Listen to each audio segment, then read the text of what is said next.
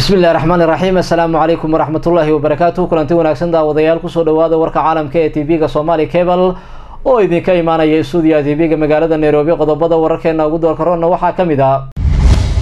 sideed qof ayaa geeriyootay tiro kalena waa ay ku dhaawacmeen kadib dagaala iyo banaanbaxyo rabshado wada oo maanta ka dhacay magaalada baydhabo ee xarunta gobolka baay.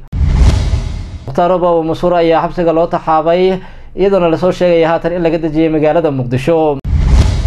madaxweynaha waddanka eritreyana waxaa maanta si weyn loogu soo dhaweeyey magaalada muqdisho iyadoona soo dhaweyntiisa ay ka qayb galeen mas'uuliyiin ka tirsan dowladda federaalk ee soomaaliya. Ra'iisul wasaaraha soomaaliya xasan cali kheyre ayaa la kulmay dhigiisa waddanka qatar. Wasiirka howlaha guud iyo guriyeynta ee somalilanna waxaa ahaa uu amro ka soo saaray dadka degan guryaha danta guud ee ku yaalla gobolka owdal